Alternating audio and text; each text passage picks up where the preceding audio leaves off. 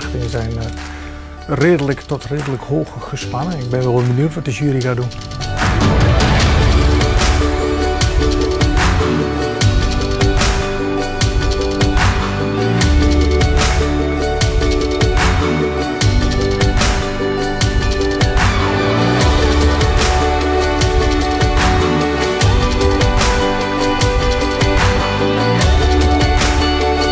Er waren 33 inzendingen. Uh, mensen hadden het uh, goed bekeken.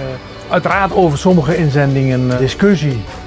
Maar we zijn eruit gekomen en het, is een, het ligt vrij dicht bij elkaar, de beoordelingen.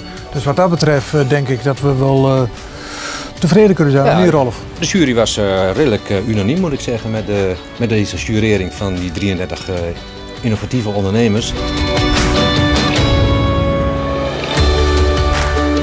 Er is één trend zichtbaar dat de machineleveranciers, die toch de drijvende kracht zijn achter Technishow, dat die een beetje schitterende afwezigheid, dat is heel jammer. Maar dat is negatief. Als je het vanuit het positieve benadert, dan zeg je van ik zie uh, inzendingen op het gebied van automatisering, ik zie inzendingen op het gebied van 4.0, ik zie producten die, die tegemoetkomen aan de reinheid van het metaalbewerken.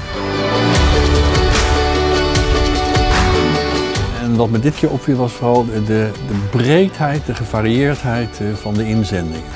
Er zaten inzendingen bij die eh, een slimme combinatie van bestaande technieken waren, maar ook inzendingen die juist een hele vernieuwende techniek hadden of een, een hele nieuwe uh, materiaalgebruik. Dus er waren vrij veel variatie was erin, wat enerzijds het leuk maakt en anderzijds de jurering natuurlijk ook moeilijker maakt. De Made in Holland uh, Award jurering heeft uh, vier nominaties uh, dit jaar.